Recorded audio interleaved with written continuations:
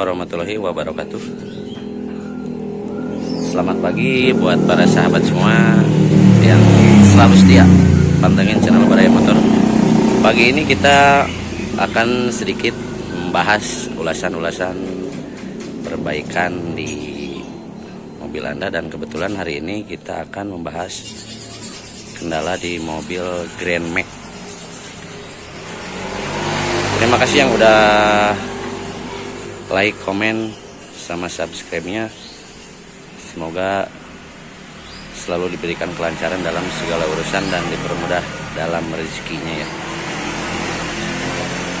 Jangan lupa tombol notifikasinya dinyalakan biar nggak ketinggalan info terbaru dari channel Baraya Motor. Dan di share juga ya biar channel kami bisa lebih berkembang, bisa lebih besar lagi dalam pembahasan perbaikan-perbaikan di kendaraan Anda ya.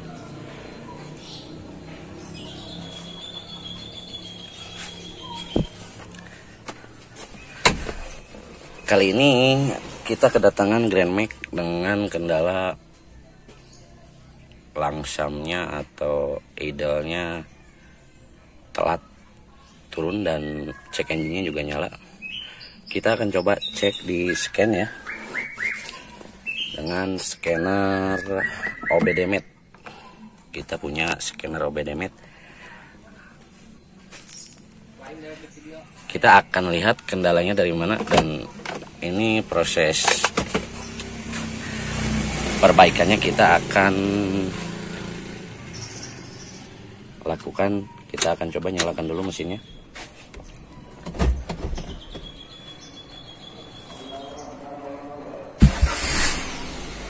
jadi posisi lampu cek engine nyala terus. Pas posisi mesin nyala. Dalam kendala atau dalam situasi normal biasanya saya posisi mesin nyala cek engine otomatis mati ya. Berarti ini ada kendala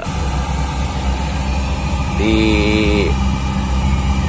seputaran mobil Grand Max ini ya. Kita akan coba cek di scan untuk letak soket scannernya ada di bagian bawah ya.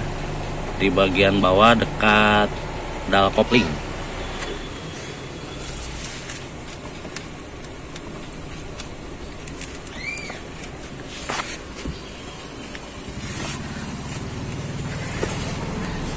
Kita akan coba scan. Letak permasalahan dari mobil ini dari mana kita akan scan pakai OBDMet kita akan matikan dulu mesinnya biar pengecekannya enak terus kita nyalakan ulang kontaknya. Lalu kita lihat kode DTC yang muncul dari mobil ini dan titik permasalahannya terletak di bagian mana kita akan tahu dari munculnya kode DTC scanner ini ya.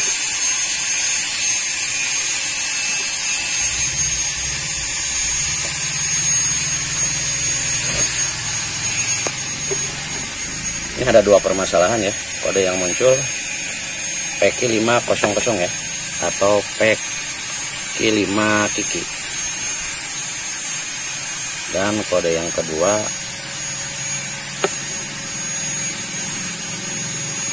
P16Q4 kita akan cari tahu titik permasalahannya dari mana.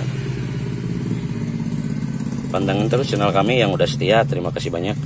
Kita akan membahas ulasan atau langkah-langkah cara mengatasi lampu cek engine yang terjadi di mobil Grand Max. Oke, kita akan lanjut nanti.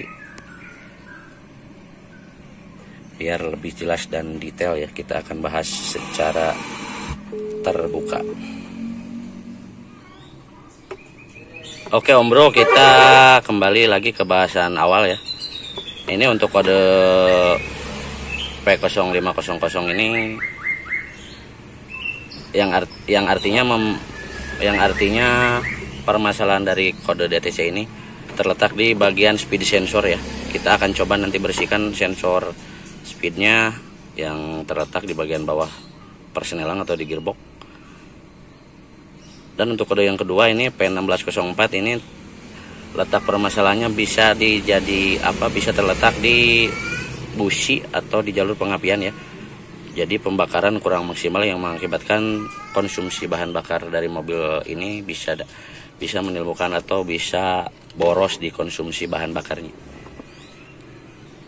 Kita akan langsung nanti di tune up sekalian ya. Kita akan bersihkan throttle bodinya kita akan cek businya dan akan bersihkan nanti speed sensor di bagian bawah ya. Biar cek engine dari mobil ini bisa bekerja seperti biasa ya jadi posisi mesin nyala ini cek engine-nya mati dan kinerja dari mobil tersebut bisa lebih maksimal atau normal kembali ke semula ya. Oke kita akan lanjut proses pembongkaran busi dan proses tune up dari mobil Grand Max ini ya. Kita akan bersihkan throttle bodinya dan kita akan buka juga businya dan diganti. Dan akan dibersihkan speed sensornya juga di bagian bawah ya. Oke pantengin terus channel Baraya Motor biar enggak gagal paham atau enggak ketinggalan info-info terbarunya. Dari tutorial-tutorial perbaikan di mobil ya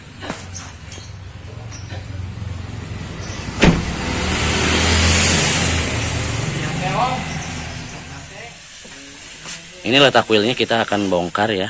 Kita akan buka kita lihat kondisi businya masih layak pakai apa enggak. Tapi untuk memaksimalkan performa dari mesin Max ini kita akan langsung ganti businya dan akan dibersihkan juga sensor O2 nya ya. Ini letak sensor O2 nya ada di bagian sini ya. Kita akan bersihkan biar kinerja dari mobil ini maksimal kembali Oke Om Bro, ini lagi proses pembongkaran busi ya. Kita akan ganti businya. Dan kita akan lanjut nanti proses membersihkan throttle body ya. Ini udah kelihatan tuh. Throttle bodinya kotor. Kita akan bersihkan ya. Kita akan bongkar throttle bodinya biar jos lagi performa dari mesin Grand Max ini ya. Oke Om Bro, ini sudah kita bongkar tadi ya businya ya. Dan ini businya ternyata sudah bisa dibilang lemah dan pengen diganti ya. Mungkin sudah termakan usia juga. Jadi kita udah siapkan busi-busi yang baru. Ini untuk kode busi dari mobil ini sendiri yaitu XU22PR9 ya. Ini usahakan untuk mengganti businya. Wajib kodenya sama ya. Untuk menjaga performa dari mesin Grand Max ini ya. Ini throttle bodinya akan kita bersihkan. Kotor ya. Ini mungkin dari uap-uap sisa pembakaran dan ESC nya bisa kelihatan ini kotor banyak dedeknya ya. Ini yang mengakibatkan idealnya telat turun atau langsanya nggak bisa langsung turun ke posisi normal ya. Jadi kinerja dari ESC tersebut terganjal dengan kotoran-kotoran sisa pembakaran. Oke akan lanjut proses pembersihan throttle bodinya ya. Oke Om Bro, ini untuk mengatasi kode DTC yang kedua yaitu Paisal Speed atau P0500 ini terletak permasalahannya di speed sensor ya. Ini letak speed sensornya sendiri ada di bagian bawah ya. Bagian bawah persinelang ya. Nih. Letak speed sensornya kita akan bersihkan ya. Kita akan membersihkan mudah-mudahan cuma kotor aja jadi mengakibatkan terbaca kode DTC Paisal speed ya. Kita akan bersihkan nanti terus kita pasang lagi ya.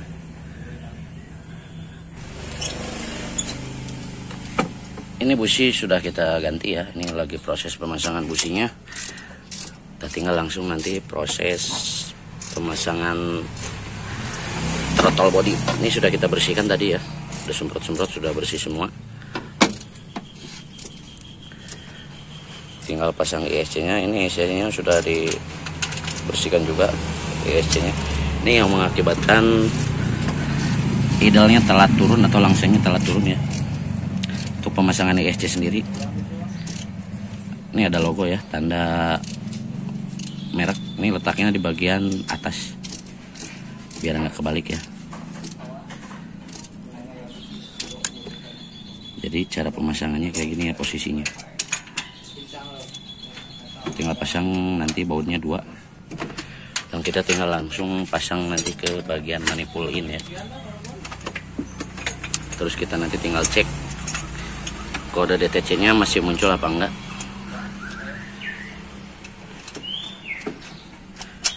ini kode DTC yang awal tadi. Yang P1604 itu terjadi karena bagian pembakaran nggak maksimal otomatis konsumsi BBM jadi boros. Dikarenakan kinerja dari busi mobil ini sendiri kurang maksimal mengakibatkan daerah pembakaran ruang bakarnya nggak bersih atau kurang maksimal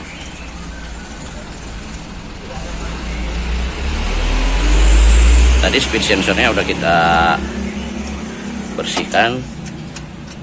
Mudah-mudahan masih bisa dipakai tanpa diganti ya. Sudah kita akalin tadi dibersihkan dicuci. Banyak kotoran di dalamnya. Kita akan coba cek langsung nanti ya. Oke om bro ini kita sudah melalui proses akhir ya. Proses tune up green make mengatasi kode DTC yang muncul tadi ya. Cek engine nyala terus kita akan langsung proses pengecekan ya.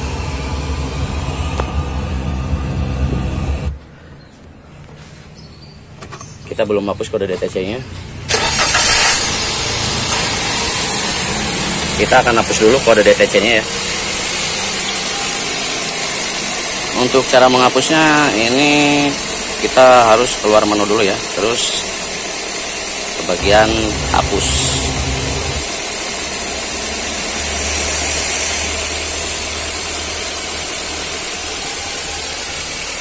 Otomatis kode DTC nya hilang. Cek engine nya normal. Mati. Dan suara mesin jadi halus.